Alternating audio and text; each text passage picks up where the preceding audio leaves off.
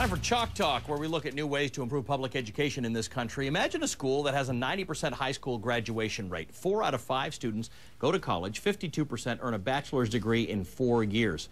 Sounds too good to be true? Well, this school really exists. In fact, there are 500 of these schools in 41 states and D.C., and most of these schools are in urban areas. I'm talking about the National Academy Foundation, a network of high school career-based academies. Joining us to talk more about this is the president, J.D. Howe. J.D., good to see you. Thank you for joining us. J.D. Hoye, uh, Hoye I'm sorry. My pleasure.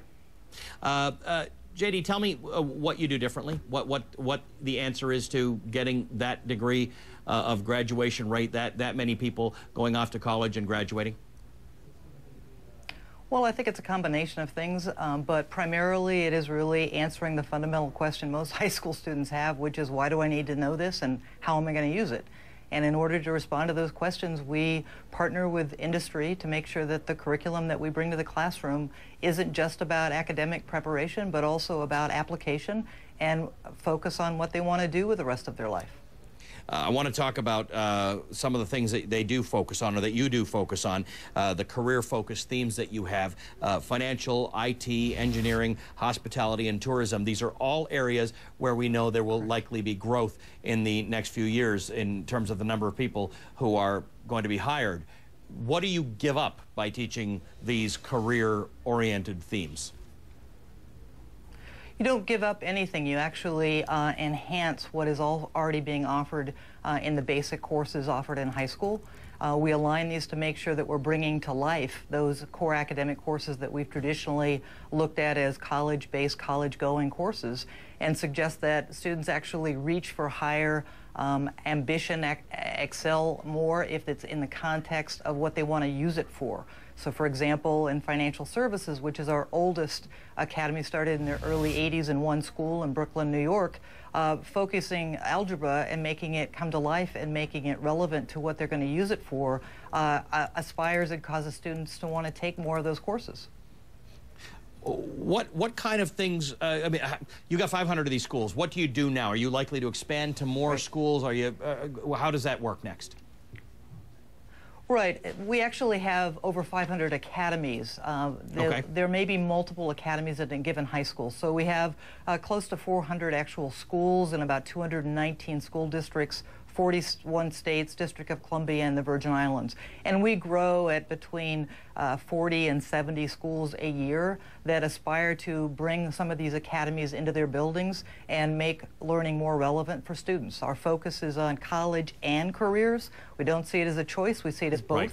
and believe that giving that career awareness and that relevance changes uh, young people's perception in terms of why academics is so important. Right. I want to remind our viewers that 52% uh, of the graduates uh, go to they go on to earn bachelor's degrees in four years, compared to 32% nationally. About half of your schools are in urban areas. We talk so much about public education and uh, the the the way it's sort of disintegrated in so many uh, urban areas. Uh, what are you able to do that that is different from those stories that we keep, keep hearing? Why are you able to succeed in urban areas where others have not been able to?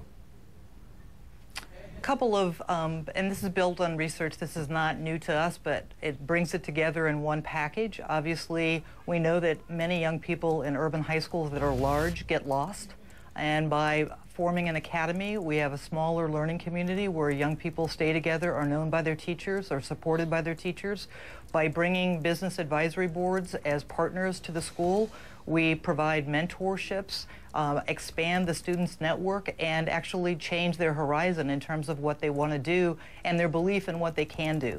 Many of our young people, uh, we expect them to have internship experiences where they take their learning from high school and actually go into the workplace and begin to apply it. And they do a couple of things in that process. Not only do they build a network of adults other than those that they may be around regularly, but teachers also develop partnerships with these industries as well. And the industry helps them frame the curriculum, the instruction, to make sure that the problems that are being solved in the classroom are real today, um, which brings it to life. It makes it more relevant, more real for the young person. The other piece that's really quite important in the process is the connection between the academics and actual problems or projects that students work on in the classroom. I suspect you and I both had the math problem about the two trains from New York to Chicago and when they would pass.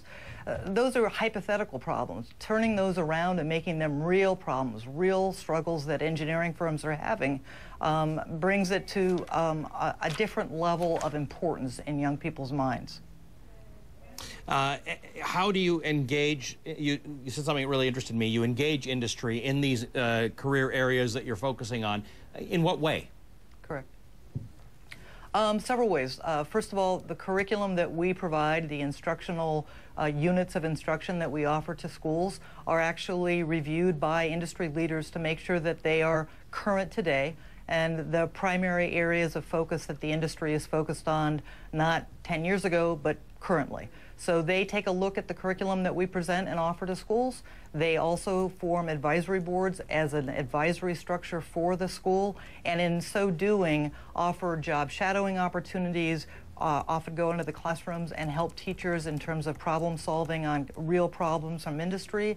They offer internships that move the students in the summer and after school into the workplace so that they can show how the learning that they're doing in school is relevant and meaningful to what's happening in the workplace. They are champions for these students and for these schools. Many uh, encourage the college-bound activity. Many of our industry partners have helped us uh, form partnerships with universities to make sure that there's a connection between mm -hmm. our schools and our academies and post-secondary institutions that are looking to recruit students who have diverse backgrounds but have um, excelled at their interest in a given area. You, uh, you've hit on a lot of points that we're all very interested in here. We'll keep uh, watching what you do with great interest. I'm sorry for mispronouncing your name. Uh, J.D. Hoye is the president of the National That's Academy okay. Foundation, joining me from San Francisco. Uh, what a pleasure to talk to you. Thank you very much. Uh, please uh, send you. your comments over to my Facebook page, cnn.com. slash, let's do it this way. Let's go to facebook.com slash Ali about this conversation we've just had. By the way, fantastic input from all of you about the issue of why you think Pakistan is not attracting the attention and the aid. Uh, keep those conversations coming because we're going to have more of a discussion in a little while